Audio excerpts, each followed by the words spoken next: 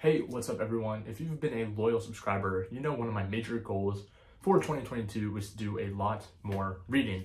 And fortunately, that is exactly what I did. My goal for 2022 was to read 40 books, and I was able to surpass that just barely and reach 42 books in total. Now, when I say read, I should say consume. This includes both books that I have read in traditional reading formats as well as audiobooks.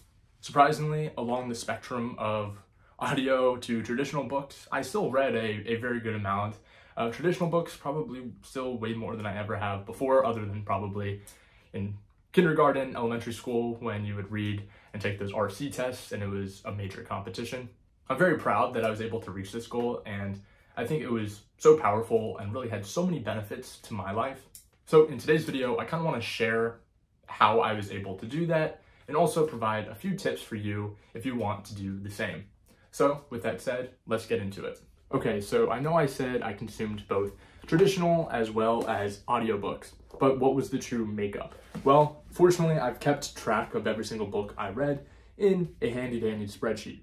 The spreadsheet shows me that I read 24 traditional books, so those are books that I actually had to look at with my own eyes and read, which means if you do the math really quickly in your head, 18 of those books were audiobooks. Honestly, I was pretty surprised by this just because it felt like I was getting through audiobooks pretty quickly, but like a lot of things, it kind of came in phases. There would be times that I was super into audiobooks and would be listening to them in the gym and just be really trying to finish them. A lot of the times when I read audiobooks, I kind of take on really big books, books that I wouldn't necessarily have enough time to commit to reading on my own. These are huge 600, 700 page books. Um, I know I read Steve Jobs as well as a book about the Sackler family, some really interesting reads, but things that I'm very grateful I listened to instead of reading because it would have taken me so long. And that's the first tip, and that is don't be afraid of audiobooks. I know I've made a lot of videos in the past about the ways I consume audiobooks. I use the apps both Libby and Simply E. Libby is offered through my public library here in Naples, Florida. Simply E is through the New York City Public Library. Both of these have a very extensive library of audiobooks, and the best part of all is that they are free. So you really don't have too much of a commitment. Um, you don't have to pay for the book, and it really allows you to just get so much information.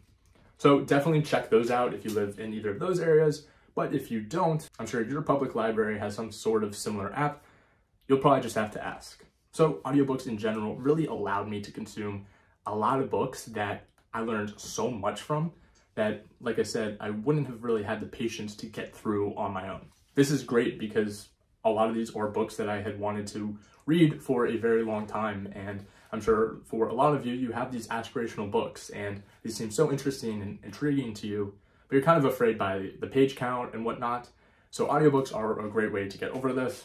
I know I've talked about it in other videos, but it's not important that you are able to comprehend every single word that's said. I typically listen to my books at like 2.5 speed, which is probably right about the, the pace I'm speaking now, but it's not important to get every single word or every single sentence. What's important is you're picking up the main ideas, the main topics, and don't hate on that whole idea. I mean, think about it when you're reading.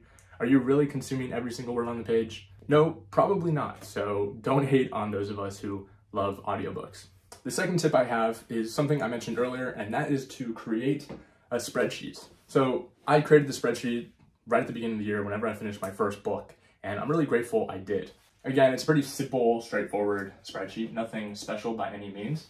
Um, but in it, I have the book title, the author, the cover, just because it makes it look a little bit nicer, then the genre, just so I can kind of keep track of what I've been reading.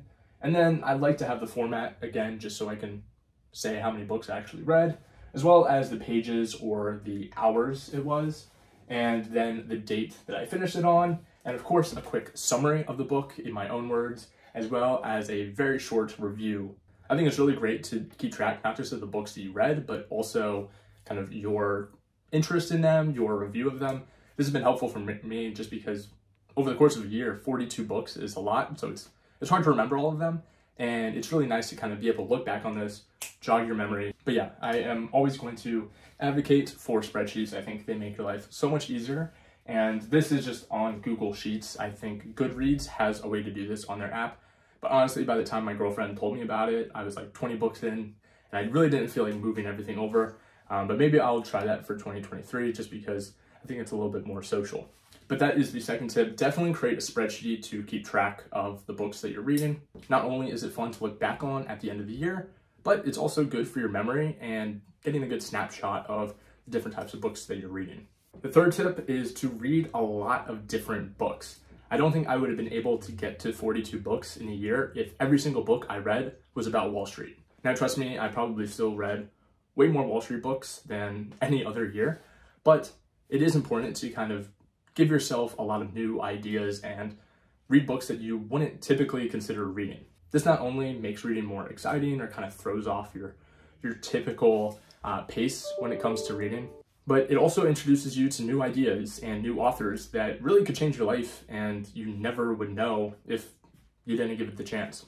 This year, I decided to read a lot more fiction books. I typically am not a big fiction reader, um, but I kind of treated fiction books as a good way to practice my reading comprehension skills as well as my speed.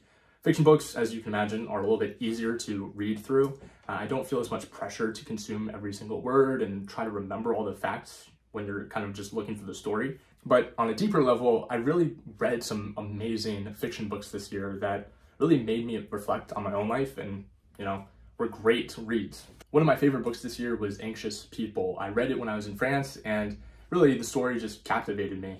I know this was a somewhat popular book. They also made a absolutely terrible Netflix series, but I definitely recommend it. And, you know, that's a book that I typically would not consider reading, but because I kind of challenged myself to get outside my comfort zone, read more books than I typically would, I did it and I'm very grateful for it. So that is the next tip. Try to read a lot of different books, a lot of different content, and then from there, choose what you like and dive into it. The next tip is something that I've heard from my book, reading, productivity, all things combined, mentor Ali Abdaal. And what he talks about is kind of treating books like blog posts. For a blog post, once you read kind of what you were looking for, do you really feel obligated to finish the blog post? Probably not. You close out the tab and you move on with your life. And I think people can really do this a lot more for books than they do. I know this is something I probably need to work on for 2023. One of my issues is that I didn't do this for 2022. A lot of the times I would get 50, 100 pages into a book and really not be enjoying it. But because I kind of had that sunk cost fallacy, I said, oh, I've already committed all this time. I need to finish it. And I don't think that's the best way to do it because if you're not enjoying the reading, you're not going to enjoy reading in general. And that kind of makes it harder to build the habit. So if you're not loving what you're reading, don't make yourself finish it because at the end of the day, you're gonna get through so many more books when you're enjoying what you're reading instead of forcing yourself to read. Okay, and the final tip is something that I hear again quite a bit, and that is to find a time in your day to read. This again is something I probably should follow a little bit better, is something I'd like to incorporate more into my routine, but I would try to read at the end of my night every single day. So for me, once I'm in bed, once I've watched at least one random YouTube video to kind of turn my brain off, that's when I try to put my phone down and read until I fall asleep. Now, of course, I'm not perfect. I don't do this every night, but this really does allow you to get through a lot of books. You'd be surprised just at the total progress you can make when you read just 20 minutes a day. Again, it's one of those things that looks really minimal when you look at it from a day-to-day -day perspective, but over time it compounds and you get through tons of pages and tons of books. So as foreign as this may feel and as much FOMO as you might get as to what someone posted on Be Real, try this out. Commit at least 15, 20 minutes every single day to reading uh, at the end of the day. And you really will see just amazing gains and you might read some amazing books, fall in love, and be so grateful that you did it. So with that said, that's gonna wrap up the video.